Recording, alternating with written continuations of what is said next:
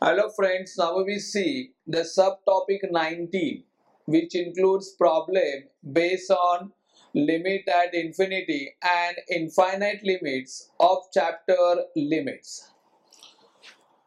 Then from that we see problem number 1.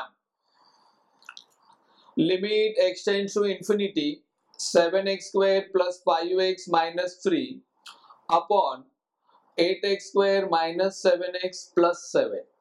Now let's see the solution. First of all, L is equal to limit extends to infinity 7x square plus 5x minus 3 whole thing divided by 8x square minus 7x plus 7. Now divide your numerator and denominator by greatest power present in the problem. Now here the greatest power present in the problem is x square. So the next step is dividing numerator and denominator by x square.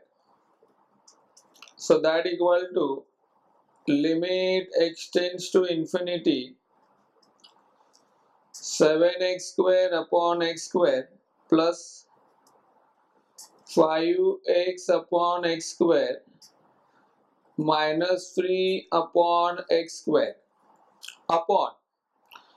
In the denominator 8x square upon x square minus 7x upon x square plus 7 upon x square.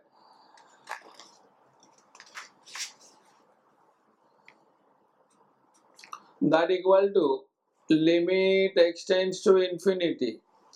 Now in the numerator we get 7 plus 5 upon x minus 3 upon x square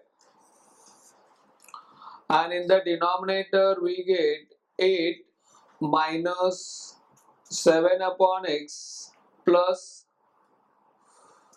7 upon x square. Now here we apply the formula that limit extends to infinity 1 upon x raised k equal to 0 provided k greater than 0 and therefore in present case we have 7 plus. Now 5 upon x as x tends to infinity gives 0 minus 3 upon x square as x tends to infinity gives 0 upon. Now in the denominator 8 minus 7 upon x as x tends to infinity gives 0 plus 7 upon x square as x tends to infinity gives 0. So is equal to we have 7 upon 8 as the answer. So this is a required solution for the given problem. Thank you.